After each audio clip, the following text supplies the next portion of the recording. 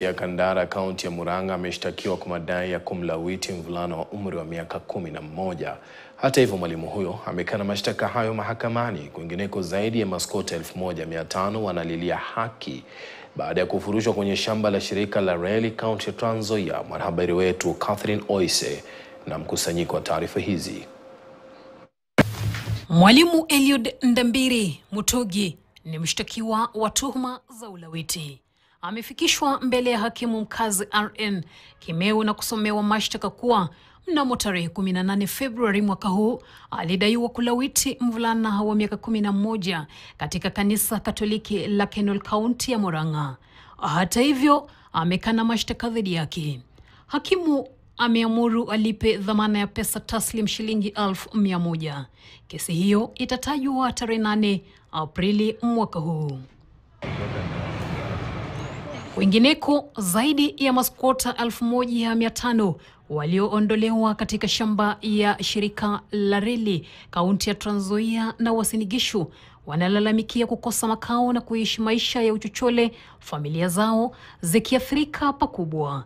Waliondolewa kwenye ardhi hiyo mwaka wa 2021. Maskota hao kutoka maeneo ya Moi's Bridge, Matunda na Nangili sasa wameitaka serikali kuwapa makazi mbadala. Tumekosa mwelekeo, tunashindwa. Serikali inaweza kutusaidia. Tuna makao, watoto waka, wengine wakatoroka, hatujui wako wapi. Sasa tunakaa tu hivi, tuko na njaa. Serikali utusaidie.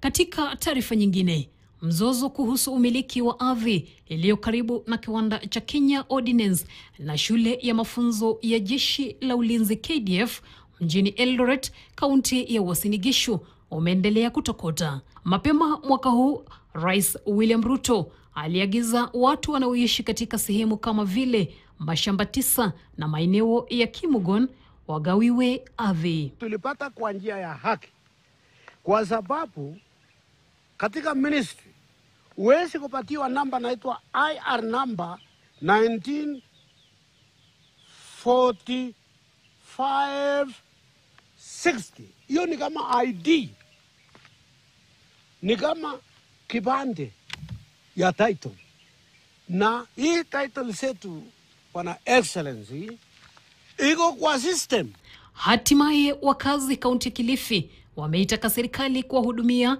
na kuhakikisha inalinda maslahi ya wananchi.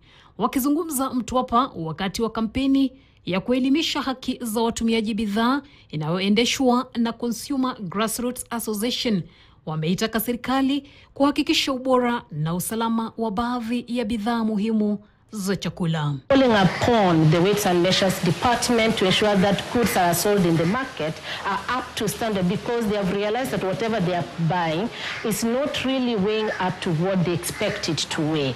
So the Weights and Measures Department should come on board and ensure that all the skills that are used here in Kilifi County are up to standard. Catherine Oise, KTN News, Nairobi.